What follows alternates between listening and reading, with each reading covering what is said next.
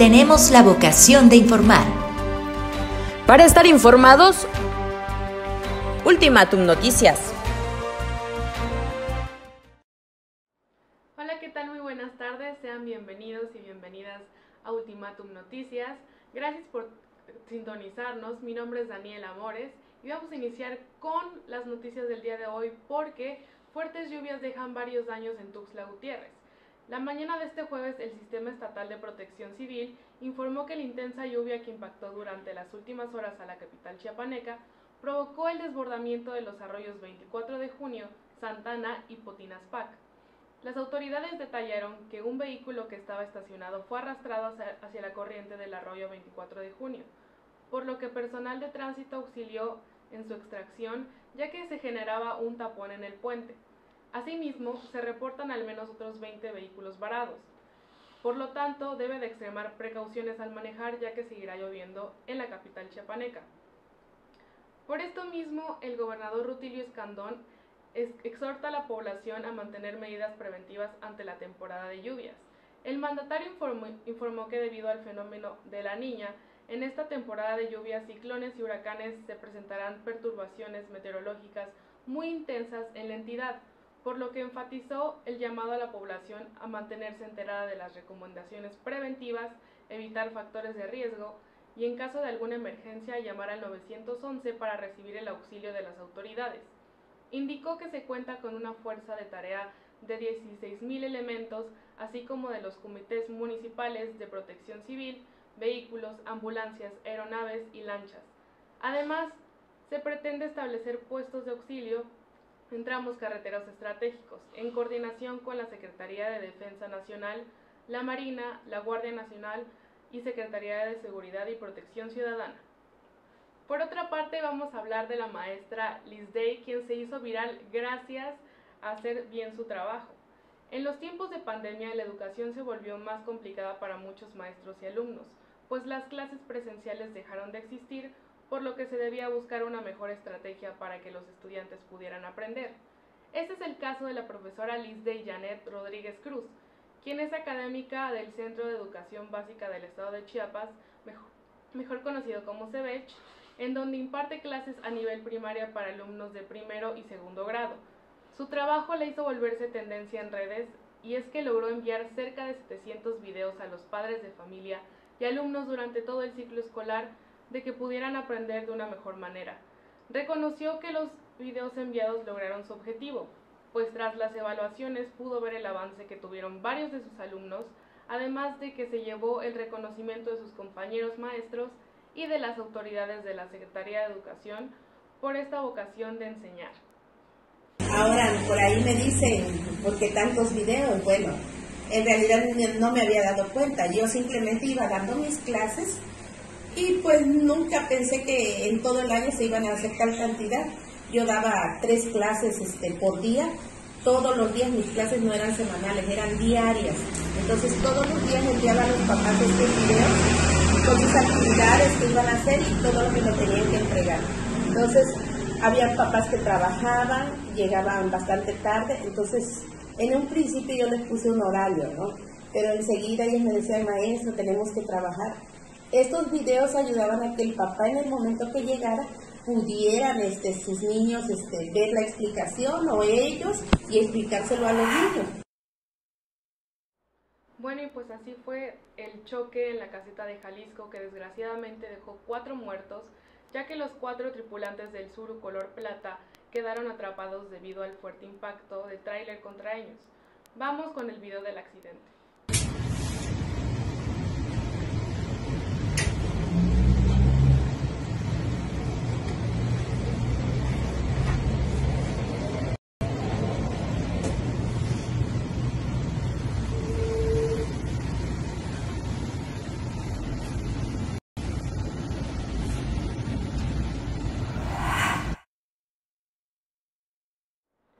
Y bueno, en noticias menos agradables nos vamos hasta el municipio de Mitontic, ubicado en la región de los Altos de Chiapas, en donde una ancianita ha sido amenazada de muerte por sus propios familiares para despojarla de su propiedad.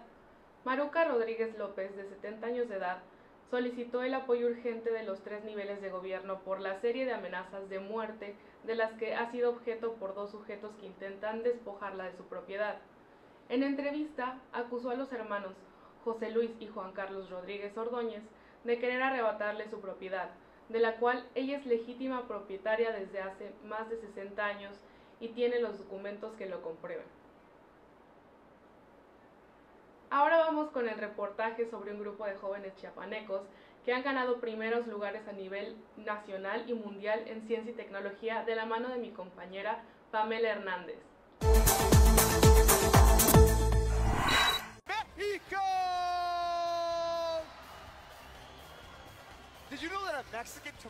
En Tapachula existe un grupo de jóvenes talentosos que llevan por más de seis años poniendo no solo el nombre de Chiapas muy en alto, sino también el de México. Se trata de los niños que conforman el Club de Robótica en Tapachula. Daniel Alfaro Solís, coach del Club Robotitans, nos platicó que este club comenzó en el 2015, donde los niños participan en nacionales llevando siempre los primeros lugares. En 2018 tuvieron su pase al primer mundial en Kentucky, Estados Unidos, donde gracias al apoyo de padres de familia, maestros y de iniciativa privada pudieron participar y obtener el sexto lugar a nivel mundial en competencia con 450 escuelas.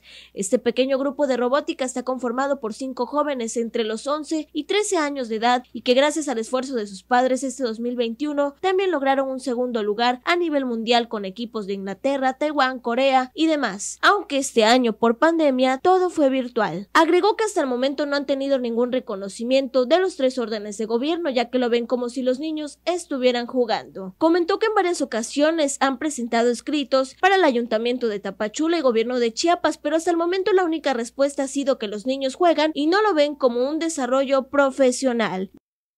Desde la perla del Soconusco para Diario Ultimátum, Pamela Hernández.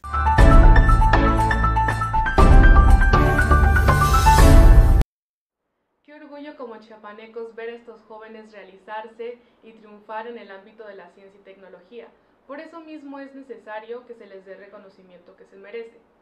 Por otra parte, el día de ayer en Hidalgo se avala la despenalización del aborto.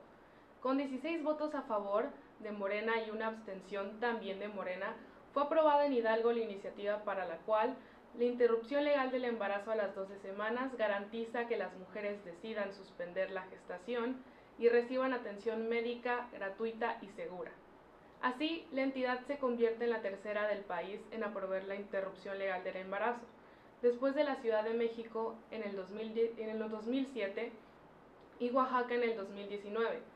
La iniciativa de las diputadas Roxana Montalegre, Rosalba Calva, Lucero Ambrosio y del diputado Ricardo Baptista, todos de Morena, fue presentada el lunes pasado en el Pleno y enviada a comisiones adjuntas. Ana Lara, de la Organización Colectiva de Mujeres contra la Violencia, señaló que despenalizar el aborto es tener un marco jurídico que permite a las instituciones garantizar el acceso a servicios de salud en igualdad de condiciones a las mujeres que necesiten interrumpir su embarazo hasta las 12 semanas de gestación.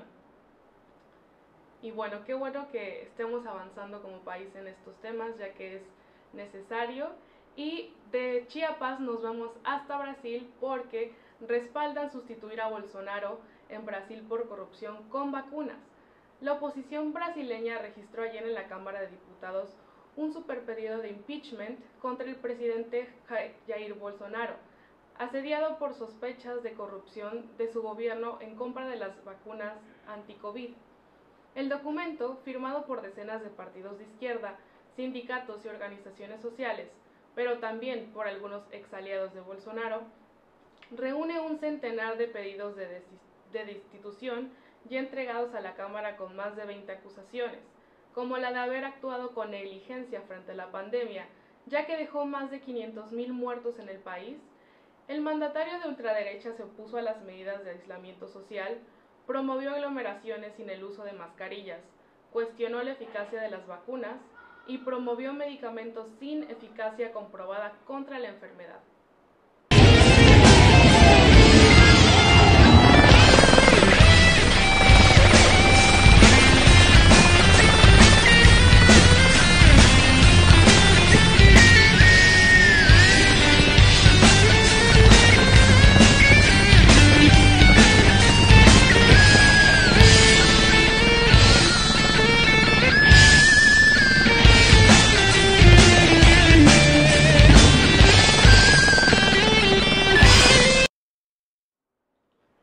Bueno, esta es toda la información por el día de hoy. De nuevo, muchas gracias por acompañarnos aquí en Ultimatum Noticias. Los espero el día de mañana en punto de las 3 de la tarde. Recuerden, mi nombre es Daniela Mores y de que tengan una linda tarde. Buen provecho.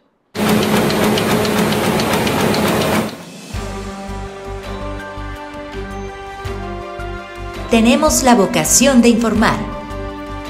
Para estar informados, Ultimatum Noticias.